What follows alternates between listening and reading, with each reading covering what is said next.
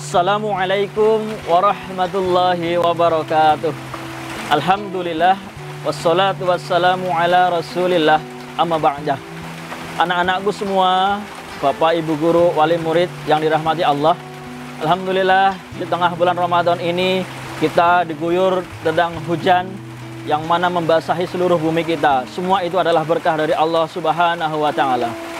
Pada kesempatan kali ini Pak Hendy akan menyampaikan tentang belajarlah dari lebah. Be like a bee.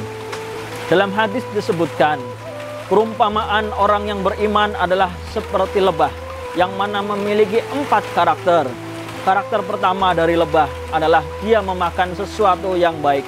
Karakter yang kedua dari lebah, dia mengeluarkan sesuatu yang baik pula. Karakter ketiga dari lebah, dia adalah tidak merusak karakter yang keempat adalah dia selalu berada di tempat yang baik. Hadis riwayat Ahmad.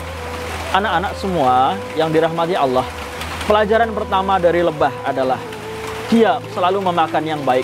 Kita sebagai seorang mukmin juga harus memakan sesuatu yang baik, memakan yang halal. Tidak hanya halal, tapi juga yang thayyibah. Sesuatu itu juga harus baik. Yang kedua, ketika kita sudah memakan yang baik, yang halal dan thayyibah, pasti yang akan kita keluarkan nanti adalah juga sesuatu yang baik.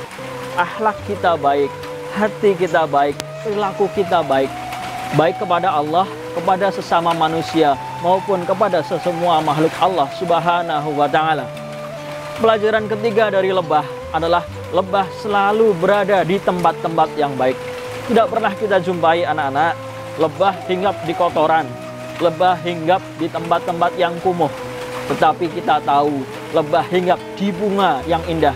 Dia mengambil saripati untuk dijadikan madu. Luar biasa, Masya Allah.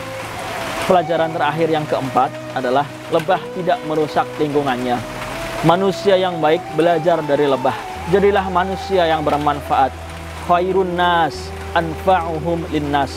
Jadilah manusia yang bermanfaat orang lain karena itu adalah sebaik-baik manusia. Anak-anakku, di masa pandemi COVID-19, merebaknya virus corona ini, mari kita saling membahu untuk menolong saudara kita yang terkena dampak corona atau COVID-19. Mungkin ada yang tidak bisa berbuka, ada yang tidak bisa sahur. Kita berusaha membantu dengan sekuat tenaga kita. Kita nyalakan hati nurani kita untuk membantu mereka agar kita mendapatkan keberkahan di bulan Ramadan, bulan suci yang mulia, bulan yang penuh dengan ampunan dan keberkahan. Semoga kita bisa belajar dari empat sifat atau karakter dari lebah, sesuatu yang luar biasa sehingga lebah tercantum di dalam salah satu surah dalam Al-Quran, surah ke-16, yaitu surah An-Nahl. Demikian dari Pak Hendy, mohon maaf atas segala kekurangan, semoga kita lebih semangat dalam berpuasa, tetap di rumah saja. Assalamualaikum warahmatullahi wabarakatuh.